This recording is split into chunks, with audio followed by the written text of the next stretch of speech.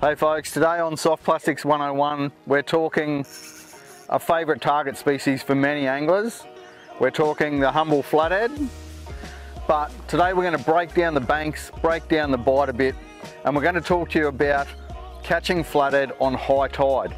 Flathead are easiest to target on those last couple of hours of the run out and first hour of the run in tide, but at high tide people can often find it difficult to catch flathead and to locate flathead. So today we're going to break down a few different scenarios, break down a few different banks, and show you how to catch a few flatties on high tide. One of the spots we're fishing, so I generally say to people, on the high tide when you're targeting flathead, there's two spots you want to target. You want to target those awesome bits of water and structure that the fish can't get to at low tide, so they move up into those areas when the tide moves up.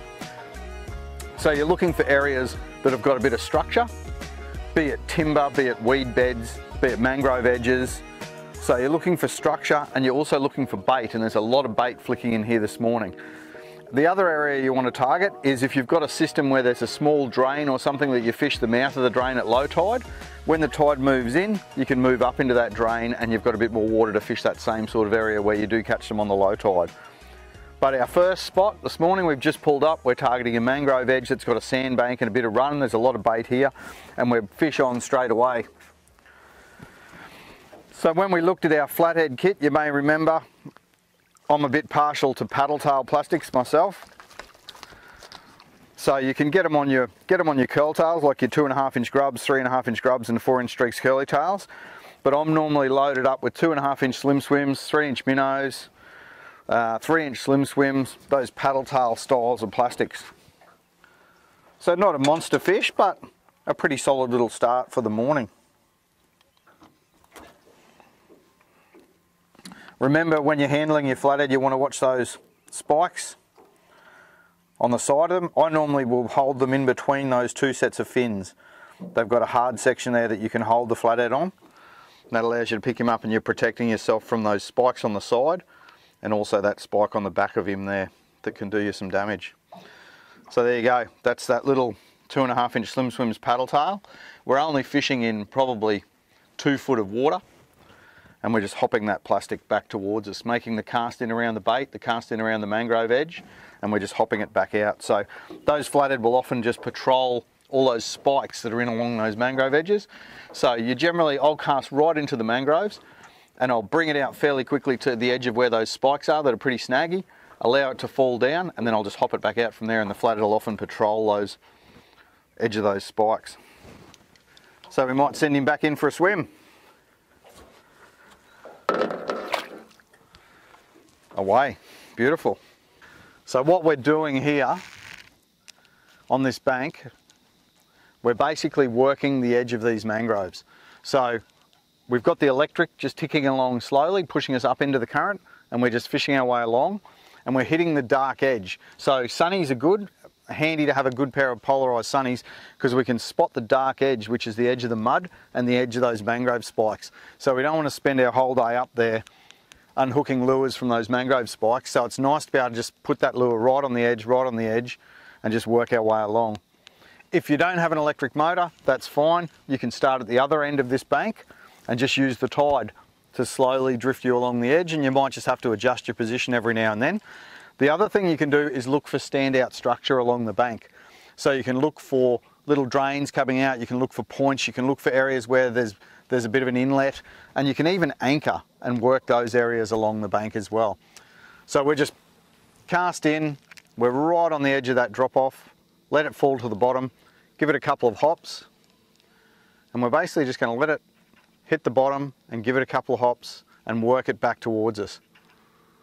And those flathead will be laying in ambush, just waiting for bait fish or prawns or things to come out off that edge or work their way up onto the edge and hopefully we can score ourselves a fish. This area on low tide would be completely out of the water.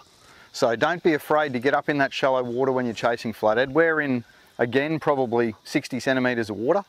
So we had a quick flick at the other spot we were at, landed that fish, got bitten off by a nice one, and we thought we'd move over and we've got about probably an hour of running tide left. So the tide's pushing up into these mangroves, it's pushing the bait and stuff up in here as well. So we're just basically, there's a dark edge, which is the mud and the mangrove roots. And we're basically just flicking into that dark edge and working our lures back out from the bank. And as I said, there's no water here at low tide, but on this high water, it's a perfect place to get in and target a few flatfish. Not a monster, but again, another, another legal dusky flathead. That time we've got the three inch MinnowZ on. If you were looking for one all round fantastic plucky to chase flathead, that three inch MinnowZ would be probably the go-to as a starting point. And even up in these shallows here, I'm running a quarter ounce 3.0 jig head. That gives me plenty of distance casting. I can stay out on the bank a bit and I know I'm on the bottom and I'm just hopping that up and down off the bottom there. So not a monster, but another, another legal flatty in pretty quick time. And we've got a bit more time to work this bank on that, that hour of run in that we've got. So I'll just pop that out. You can see that there, the water's pretty clear. It's, it's, it's greeny, cleary sort of water, a little bit of murk in it, but so I'm fishing a natural sort of baitfish colour in that green lantern on that DemonZ jig head. Beautiful little fish.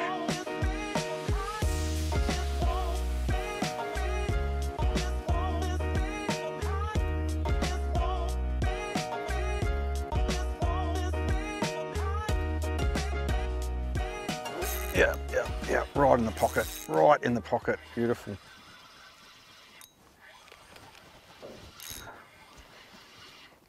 A little bit more drag there.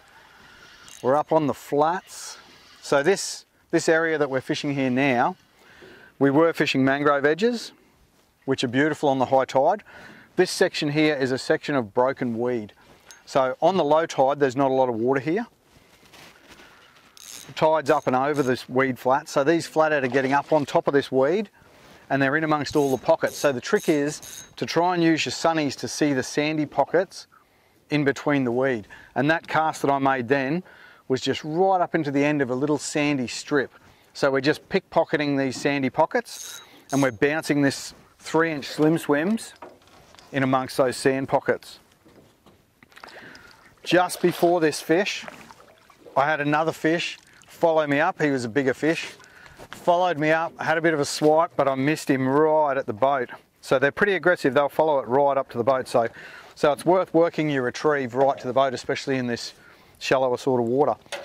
So again, high tide, we're, we're looking for structure, we're looking for water that will attract the fish to here. So why do the fish come up here? We've got all these broken weed patches and we've got the sandy patches in between them, which are perfect for them to lay in and also to hunt. And the weed is a good hiding place for prawns and bait fish and those sorts of things. So there's, there's plenty of weed here to attract the fish. There's those sandy patches for them to lay in and the tide's in, but we're still catching flathead. So just remember to get, get up, get up where those fish are gonna be up hunting when that tide's up. Don't worry if you're only in a couple of feet of water, the fish will hold in the area. So there you go, there's another nice high tide flathead. We'll slide him back in the water and hopefully you can find him up near those mangrove edges or up on the flats. So just to give you a bit of an idea of what we're fishing here and where that fish came from, the darker sections here are the weed and the lighter sections are the sand. So basically I'm taking the lure and we're driving it through these sand patches. So just in there is a little sand pocket. They're a little bit tricky to see, but once you get a feel for it and you've got your glasses and you're, and you're paying attention to what's going on in there, you'll often see also bait will sort of work along the edge of that sand as well. So basically we, we call it picking pockets and we're just casting into those pockets as we work our way along this bank. So again, there's the dark weed coming out here and I'm gonna make my cast ahead of the boat to the edge of that weed. And I can just work along the weed and as you come along in some areas, you'll see the sand will actually poke in a bit into the weed and those little pockets are dynamite for a flatty. Perfect for a flatter to get up and hunt in there. Oh, that feels all right. So we're up on that flat still, fishing up, pickpocketing those weed beds. Oh, he's not a bad little fish. He's beautiful colour. Nicely marked. We're actually fishing up on this flat, picking those pockets, and we saw some gar feeding and flicking around on the surface. So as soon as we saw the gar, that was it. Green lantern it was. And that plastic very much resembles the, the green and cleary sort of colorations of a gar. So again, always, always looking around, always thinking what's happening, look for bait flicking, what does the bait look like, match the hatch where you can. There's lots of things you can do to try and generate some interest. So there we go, that green lantern plastic, very garfish in colour. Perfect for the flatties and that and that three inch MinnowZ profile. So those paddle tails, as, as I've always said, I'm a bit I'm a bit keen on the paddle tail side of things. Anything in that two and a half to four inch sort of paddle tail size is good for a flatty. But for those that prefer the curly tails, two and a half inch grubs, those two and a half inch through to four inch plastics are perfect.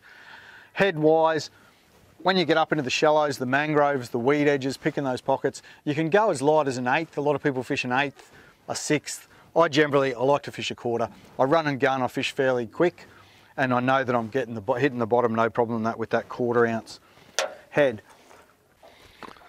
There you go, that's another, another legal size flathead.